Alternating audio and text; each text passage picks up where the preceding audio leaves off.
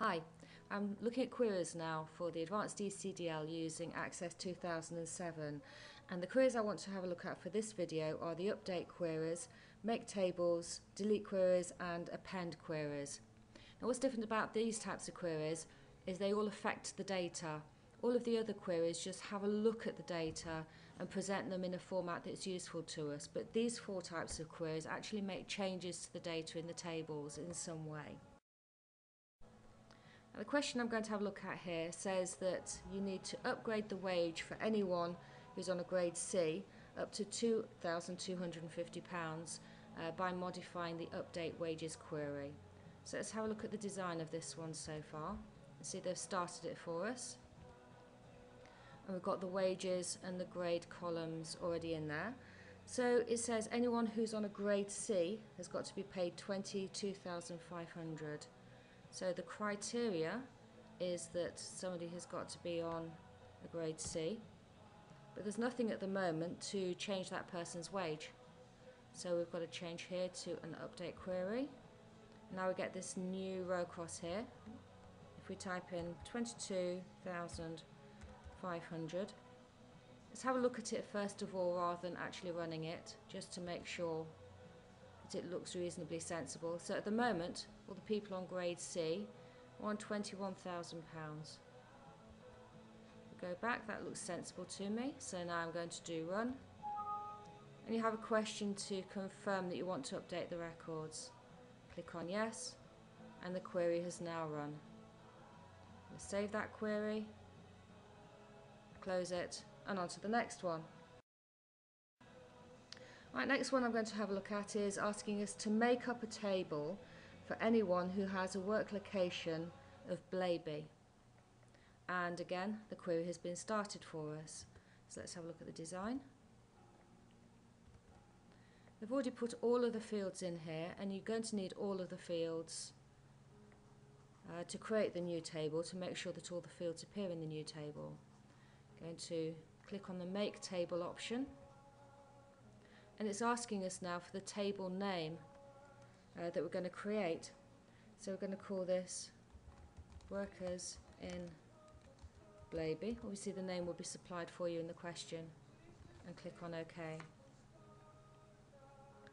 And now again I'm going to view it. Ah, this is wrong because it's got everyone there, not just the people in Blaby at the moment. So we have to put a criteria in. I'm going to put a criteria in here of Blaby. Again, I'm going to view it. That looks sensible now. It's extracted all the correct people. Go back into the view and I'll run the query. It says here to confirm it's going to paste 11 rows into a new table. That's fine, that's what we want. Save the changes we've made to the query and close it.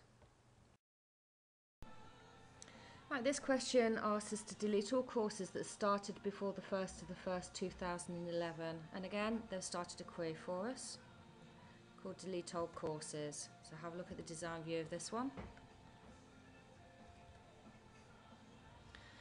Okay we're going to change this to a delete type query. And the criteria was before the 1st of the 1st 2011 so let's type this in now. Less than 1st of the 1st 2011 and 11. Then I'm going to view it first of all. Okay, and it's see that I've got seven records here, which is useful information. Okay, and that looks fine. So now I will run it. And it says I'm about to delete those seven rows. So I know I'm doing the right thing and say yes. And now I save that query and close it. Right, finally I want to have a look at the append query.